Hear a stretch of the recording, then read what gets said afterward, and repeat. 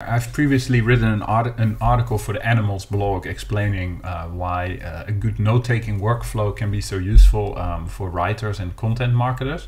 Um, and I want to give you one example of how this works in action if you have such a note-taking workflow. So uh, I use Roam Research, uh, but don't don't uh, stare too much or don't don't worry too much about the specific tool. But I'll show you how this works in Roam Research. So I was writing an article about um, customer onboarding in SaaS, software as a service uh, businesses.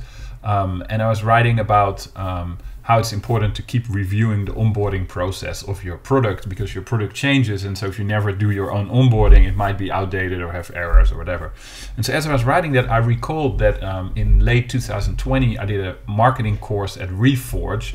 And there, a lady uh, with a Russian sounding name, I mean, that's what I remember, so I'm, I'm trying to explain the thought process, uh, said that she would uh, go through, and she was the product manager, she would go through their own onboarding every single day. So I thought, wow, that's, that's great to like quote her and put that in the article. So, but how am I going to check who she is and if she really said that and, and etc. and which company she was at?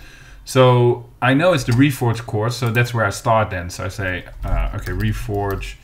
Um, it's already there because I just searched for it. But so yeah, I say, okay, Reforge, what I have on Reforge, these are all pages in my Roam uh, graph, in my Roam database. I say, okay, this is the one, this has all my notes from that program. So then I go here, um, then this is some stuff at top, links, etc. Uh, but then here I have all the notes from the program. So I first look here, but then I'm like, this is so much because if I expand this, like this is kind of a summary that I made of everything. So there's no I'm going to find it in here. But then the other cool thing about Roam is that you'll see at the bottom of a page where this page has been mentioned. Um, and so every day, like the Reforge program had six meetings. So I made notes in all of those meetings. So on the dates that I made those notes, this should show up because I referenced this page. I mentioned the Reforge program. So here you start to see like, oh, November 2nd, I had this, but there's no other notes. Uh, and then on October 30th and October 16th, I have these notes from the meeting. So that was the Reforge program. So then I said, okay, well, then it must be in here in one of these two. I also remember that it was towards the end of the program. So then I say, okay, well, let's see what I have here. These are my written notes that I then import uh, into Roam at the time. Um, so here, this was Caitlin Watson. That was definitely not her. So it's not this one. Um, so she was the guest in this one. So then maybe it's this one. Elena. Yeah, there we go. That was her name, Elena. So here you see my notes. And then let's see what she says. Uh, yeah, here, go through the onboarding every single day. So that's what she said. So this is the right note. So she indeed said that. And now I know her name. Her name is Elena. Um, and then I probably took some notes from my handwritten notes that I that I found interesting. Um, and then here indeed you see, ah, Elena Verna, so that's her full name. And she indeed said, go through onboarding every single day at the start of your day. So now I know who she is. Then I'm still like, oh, which which company was she at? But now I know her name. So now, of course, I can go to LinkedIn. Um, then I can say, ah, uh, Elena Verna.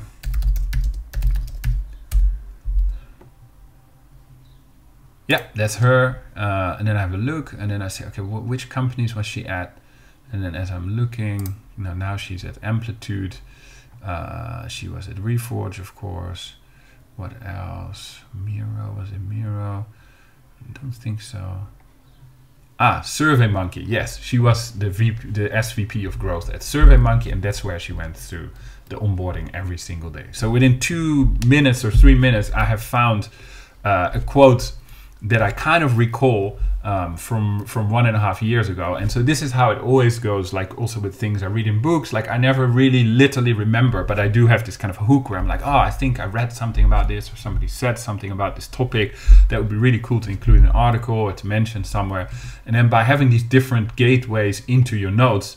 Um, because you can see here, like it's a combination of remembering Reforge, remembering the date, um, having these written notes, ha then having her name. That's kind of how you piece it all together. So that's how having a good note-taking system helps you um, to yeah make your content richer, to remember things, to yeah in whatever you're doing, uh, make it more interesting, make it more complete, and get more creative ideas and add more interesting uh, details. So I hope this was helpful and give some inspiration of why it's worthwhile investing in a in a note taking system. And uh, if you're interested in it, I would recommend reading the full article. Thanks.